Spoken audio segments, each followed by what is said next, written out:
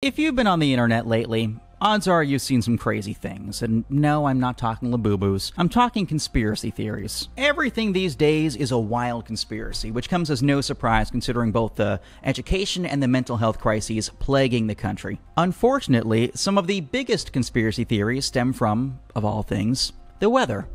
And that's where I come in. You know, a few years ago, I was in a bar in Slidell, Louisiana, and a guy came up to me, saw my My Radar shirt, and started shrieking about Bill Gates and weather modification and space lasers. Who, who, who is they? In what way could a satellite modify weather? Well, hang on. What, what is a beam of energy? Where would a satellite get huge amounts of energy? Okay, so, so hang on. You're saying a, a satellite has a solar array big enough to modify the weather. Who, who is they? Where's this energy coming from?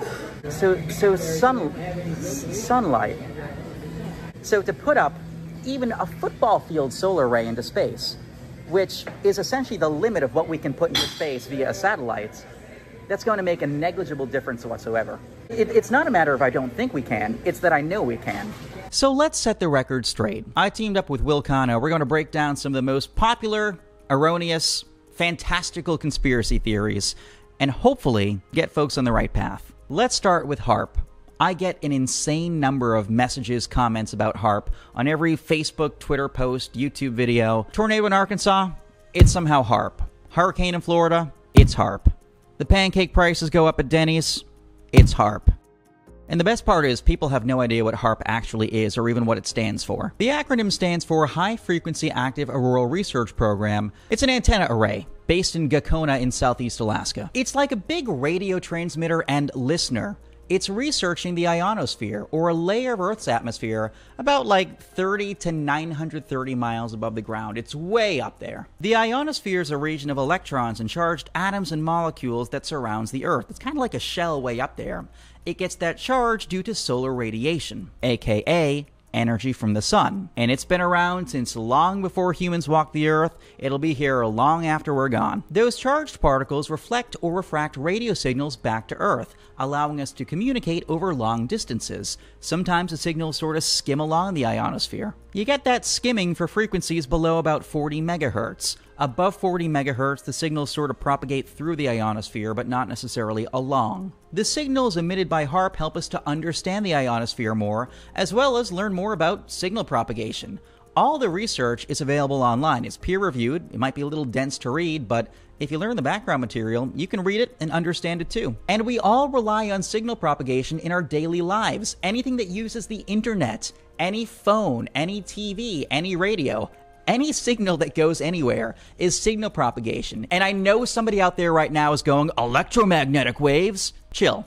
Sunlight is electromagnetic waves. All light is electromagnetic waves. Literally all light. Was that too much? Now, how much energy is HAARP using? About 3.6 megawatts, or roughly the energy usage of about 500 homes. Now, we should clarify radio waves do not affect the weather. But what if we could use that energy from HAARP and try to affect the weather? Would it work? Hell no. That's because the atmosphere transfers about 5 petawatts of energy through each hemisphere every year. Heat transfer, that's, that's what drives weather systems. A petawatt is equal to 1 quadrillion watts, meaning the atmosphere in one hemisphere transfers 6 billion times more energy than a HAARP uses. And that's just one of two hemispheres. The difference in scale is enormous. Claiming HAARP controls the weather is like someone trying to argue that a 500 pound man cannonballing into the ocean in California was responsible for the 2011 Pacific tsunami. Simply stated, it's ludicrous. Now, here's a good one. Operation Popeye. People love to talk about this one. It was a secret military operation during the Vietnamese War between 1967 and 1972. And everybody, all the conspiracy theorists, is like, well, it was a secret. So is literally everything in a war. Anyway, this was during the early days of research into weather modification and cloud seeding, and the government believed they could spray lead iodide and silver iodide in very small particulates into the atmosphere to foster the coalescence of water droplets. They get water droplets, cloud droplets to gather, to amalgamate, and to fall as raindrops, enhancing rainfall. Their goal was to make more rain in Vietnam and widen monsoon season. They figured they could wash out key routes of supply transfer and therefore uh, make it tougher on their enemies. According to government documents, testing began back in October 1966 in the Lao Panhandle and the Sekong River. There were three C 130 Hercules aircrafts and two F 4C Phantoms that were in charge of dispersing the chemicals twice a day. Now, the government claims this worked very effectively. They also claim they unintentionally flooded a special forces camp with 9 inches worth of rain in 4 hours. But here's the thing cloud seeding doesn't create moisture out of thin air, it just helps the moisture that's already up there fall down. It's useful in desert environments, but believe me, if you've been to Vietnam during monsoon season, and I have, the atmosphere doesn't exactly need help raining. Now, because this was classified and sort of a, a, clandestine operation, scientists never got to go in and actually test to see if any of this was really meteorologically legitimate. And I can tell you, as an atmospheric scientist, the government was probably overzealous in bragging about the efficacy. They were almost certainly overestimating and embellishing. My best guess is there may have been a marginal increase in rainfall. We're talking like 5 to 15% on the fringes of monsoon season. So maybe April, May, or October, November. But believe me, if this worked nearly half as well as the government wishes it did, the world wouldn't be losing hundreds of billions of dollars in crops every year that succumb to inveterate drought. Now, how about hurricane modification? It's been in the news lately. We'll start with Project Cirrus, one of my favorite conspiracies. On October 13th, 1947, a couple B 17s and a B 29 flew about 415 miles east of Jacksonville and dumped 180 pounds of dry ice into a hurricane. And the hurricane starts to weaken, and they're like, nice, we did it. And then the next day, they fly back in. They can't find the eye. Come to find out, the entire hurricane has taken a dramatic, sudden left hand turn it goes into Savannah, Georgia, and causes $2 million worth of damage. Now, obviously, 180 pounds of dry ice is not going to do anything and had nothing to do with the hurricane turning or re strengthening, but they didn't know that at the time. In reality, a single hurricane churns through about 200 times more energy than the entirety of humankind produces. But back then, we didn't really know that. Still, the results from Project Cirrus were enough to essentially scare the government into halting all research into weather modification until 1962. That's when the U.S. Weather Bureau and the Department of Defense teamed up for Project Stormfury. Their goal was to fly aircraft just outside the eye wall, that innermost ring of winds at the core of intense hurricanes. They figured they could spray silver iodide to seed the clouds, intensifying convective or, or thunderstorm cells outside the eye wall creating new clouds, essentially creating a newer, wider, weaker eye wall, and choking off the inner eye wall. They only did this on four different storms over the course of eight different days. The storms were Hurricane Esther back in 1961, Beulah in 1963, Debbie in 1969, and Ginger in 1971. And it worked half the time. Or so they thought.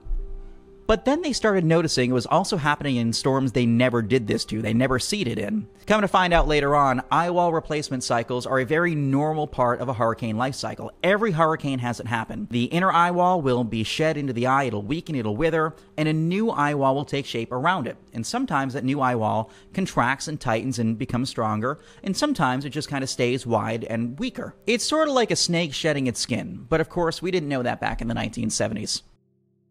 Okay, are we talking about chemtrails? Chemtrails. Chemtrails. Ah, uh, yes. A theory that's become one of the most prominent explanations behind weather manipulation. Chemtrails are what people call these white lines across the otherwise blue sky. Some look noticeably different than others, some last for hours on end. But they're not government chemicals and they're not controlling the weather. Here's the evidence. Chemtrails is just wordplay on contrails. It's just an abbreviation for condensation trails. The name fits the bill. It literally describes the white trail of condensation formed behind airplanes. Jet exhaust releases water vapor into the atmosphere. Up high, the air is freezing, much colder than the water vapor. This difference quickly leads to condensation and a cloud is formed in the plane's path. It's exactly like the white exhaust you see out of a car in the wintertime. All contrails share the same general characteristics wispy, thin, translucent, just like a cirrus cloud but they're not all created equal. A higher plane is in a colder environment, so its contrails can stay for longer. They might spread out or stay linear. Planes with four engines produce more water vapor than those with two, so they might look different. Or in a warm, humid environment, you might not get contrails at all. But these differences do not equate to conspiracy. No typical airliner is releasing chemicals to manipulate the weather. Even when we talk about cloud seeding, it is an entirely different argument. At the end of the day, it's very easy for misunderstood science to be quoted, taken out of context, repurposed on erroneous blog sites, and to quickly become a viral conspiracy theory. It is true that weather modification could theoretically happen at the global scale, but it would require an enormous global effort. To implement something at scale would be such a monumental task that it would test the limits of what humanity could achieve. It has not happened. It likely will not in our lifetimes. It does sort of crack me up that people will push back against me explaining why greenhouse gases, many of which are emitted by humans, can slightly raise Earth's temperature, and yet many of those same people believe the government can send them a tornado. Wild mental gymnastics happening. Ultimately, though, I believe education is empowering. The only way to correct a misconception or a conspiracy theory is through education. We hope you've learned something here. And if you have, talk to your crazy Uncle Larry about it at Thanksgiving dinner. I'm sure that'll go well. On my radar, senior meteorologist Matthew Cappucci, We will always stand by the science, and that is a promise.